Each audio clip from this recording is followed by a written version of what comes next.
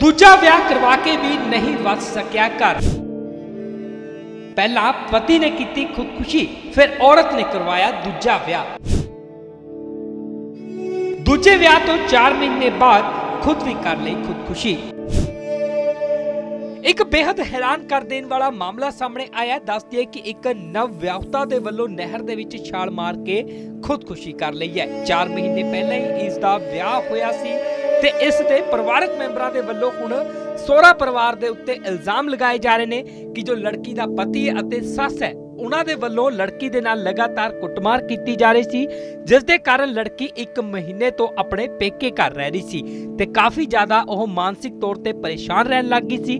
ਬੀਤੇ ਦਿਨਾਂ ਜਦੋਂ ਉਹ ਘਰੋਂ ਦਵਾਈ ਲੈਣ ਦਾ ਬਹਾਨਾ ਮਾਰ ਕੇ ਗਈ, ਤਾਂ ਉਸ ਦੀ ਮਾਤਾ ਨੂੰ ਹੁਣ ਸਿੱਧਾ ਉਸ ਦੀ লাশ ਮਿਲਣ ਦਾ ਹੀ ਫੋਨ ਆਇਆ। ਤਾਂ ਦੱਸਦੀ ਹੈ ਕਿ ਲੜਕੀ ਨੇ ਦੁਖੀ ਹੋ ਕੇ ਨਹਿਰ 'ਚ ਛਾਲ ਮਾਰ ਕੇ ਖੁਦਕੁਸ਼ੀ ਕਰ ਲਈ ਹੈ।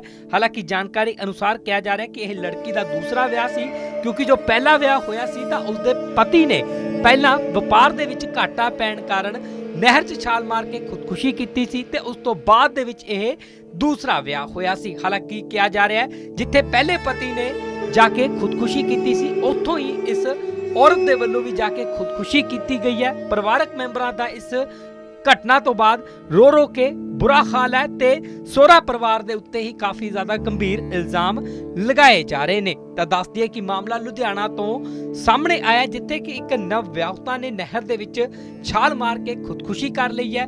4 ਮਹੀਨੇ ਪਹਿਲਾਂ ਹੀ ਇਸ ਦਾ ਦੂਸਰਾ ਵਿਆਹ ਹੋਇਆ ਸੀ। ਹਾਲਾਂਕਿ ਪਤੀ ਦੇ ਵੱਲੋਂ ਤੇ ਸੱਸ ਦੇ ਵੱਲੋਂ ਲਗਾਤਾਰ ਕੁੱਟਮਾਰ ਕੀਤੀ ਜਾ ਰਹੀ ਸੀ, ਜਿਸ ਤੋਂ ਬਾਅਦ ਦੇ ਵਿੱਚ ਇਹ ਲੜਕੀ ਆਪਣੇ ਪੇਕੇ ਘਰ ਦੇ ਵਿੱਚ ਰਹਿ ਰਹੀ ਸੀ ਤੇ ਮਾਨਸਿਕ ਤੌਰ ਦੇ ਉੱਤੇ ਕਾਫੀ ਜ਼ਿਆਦਾ ਪਰੇਸ਼ਾਨ ਹੋ ਗਈ ਸੀ ਜਿਸ ਤੋਂ ਬਾਅਦ ਹੁਣ ਇਸ ਨੇ ਦੁਖੀ ਹੋ ਕੇ ਇਹ ਖਤਰਨਾਕ ਕਦਮ ਚੁੱਕਿਆ ਮੇਰੀ ਬੇਟੀ ਲੱਗਦੀ ਸੀ ਜੀ।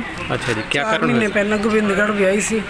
ਅਮਰਿੰਦਰ ਸਿੰਘ ਮਾਕਮ ਦੇ ਨਾਲ ਉਹਨਾਂ ਦੀ ਮਾਂ ਤੇ ਉਹ ਮੁੰਡੇ ਨੇ ਰਲ ਕੇ ਇੰਨਾ ਕੁ ਦੁਖੀ ਕੀਤਾ ਕਿ ਉਹਨੂੰ ਮਾਨਸਿਕ ਤੌਰ ਤੇ ਪਰੇਸ਼ਾਨ ਕੀਤਾ ਗਿਆ। ਮਾਰਦੇ ਸੀ ਕੁੱਟਦੇ ਸੀ ਤੰਗ ਕਰਦੇ ਸੀ ਬਹੁਤ ਜ਼ਿਆਦਾ। ਇੰਨੀ ਪਰੇਸ਼ਾਨ ਹੋਈ ਕਿ ਮਹੀਨੇ ਤੋਂ ਮੇਰੇ ਘਰ ਛੱਡ ਕੇ ਗਏ ਹੋਏ ਸੀ। ਲੈਣ ਨਹੀਂ ਸੀ ਆਉਂਦੇ। ਤੇ ਕੁੜੀ ਪਰੇਸ਼ਾਨੀ ਦੇ ਵਿੱਚ ਆਪਣੇ ਆਪ ਨੂੰ ਖਤਮ ਕਰ ਲਿਆ। ਤੁਸੀਂ ਦੱਸ ਕੇ ਵੀ ਗਏ ਸੀ ਘਰ? ਮੈਨੂੰ ਦਵਾਈ ਲੈਣ ਚੱਲੀ ਅੱਛਾ ਜੀ।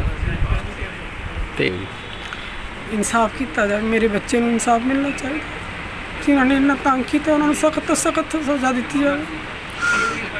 ਕਾਨੂੰਨੀ ਕਾਰਵਾਈ ਕੀਤੀ ਜਾਵੇ ਨਾ ਤੇ ਇਹਨਾਂ ਨੂੰ ਪਾਰਟੀ ਦੇ ਵਿੱਚੋਂ ਜਿਹੜੇ ਇਹ ਪਾਰਟੀ ਹੈਗੇ ਉਹਦੇ ਵਿੱਚੋਂ ਕੱਢਿਆ ਜਾਵੇ ਤਾਂ ਜੇ ਇਹੋ ਜਿਹੇ ਬੇਕਾਰ ਮੈਂਬਰ ਪਾਰਟੀ 'ਚ ਰੱਖਣ ਦਾ ਕੋਈ ਲਾਭ ਨਹੀਂ। ਪਾਰਟੀ ਨੂੰ ਬਦਨਾਮ ਕਰਨ ਲਈ ਇਹੋ ਜਿਹੇ ਮੈਂਬਰਾਂ ਨੂੰ ਕੱਢ ਦੇਣਾ ਚਾਹੀਦਾ। ਕਿਹੜੀ ਪਾਰਟੀ ਸੀਗੀ? ਕਾਂਗਰਸ ਪਾਰਟੀ। ਕੱਲ 112 ਤੇ ਕੰਪਲੀਟ ਹੋਈ ਸੀਗੀ ਜੀ ਇੱਕ ਡੈੱਡ ਬੋਡੀ ਨਹਿਰ ਚ ਪਹਾੜਾ ਨਹਿਰ ਚ ਤੈਰ ਰਹੀ ਸੀਗੀ। ਜੀ। ਤਾਂ ਉਹਨੂੰ ਕਢਵਾ ਕੇ 72 ਘੰਟੇ ਲਈ ਸ਼ਨਾਖਤ ਲਈ ਰੱਖਿਆ ਸੀਗਾ। ਅੱਜ ਉਹਦੇ ਮਾਤਾ ਜੀ ਆਏ ਆ।